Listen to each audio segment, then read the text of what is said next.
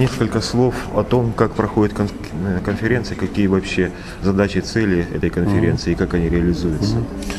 Ну, э, очень э, самым важным моментом это то, что представляется живой опыт с регионов, то есть что реально делается в области медиаобразования, какие реально шаги предпринимаются, как дети изменяются. Вот очень интересен, кстати, ваша вот э, презентация вчера, это было просто супер, потому что это действительно показ живой работы.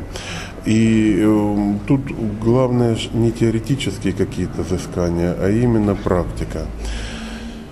И э, вот м, я надеюсь, что в ближайшее время м, э, Украина все-таки будет и дальше также интенсивно двигаться по направлению медиаобразования. То есть, что я имею в виду?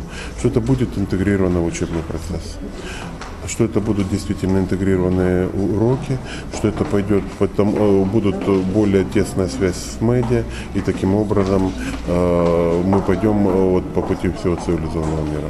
Вот, э, судя по всему, что представительство этой конференции международное очень широкое, да? То есть, э, как вот вообще сравнительно, какие впечатления у вас о, о опыте наших коллег? Ну, И- финны очень далеко впереди, понятно.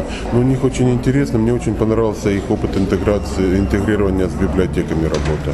А что касается э, Армении, то вот игра, это у них мне очень понравилось интерактивно, а все остальное мы впереди, и мы передаем им опыт.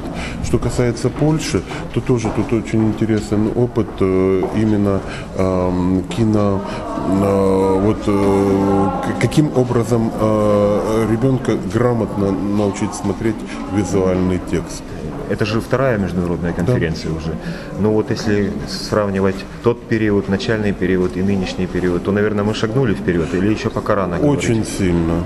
Очень сильно расширяется, особенно в сфере высшего образования, потому что энтузиасты и раньше были на местах э, в школах, а вот в сфере высшего образования это было мало. А то, что теперь готовят студенты, э, студентов по специализации медиаобразования, это супер.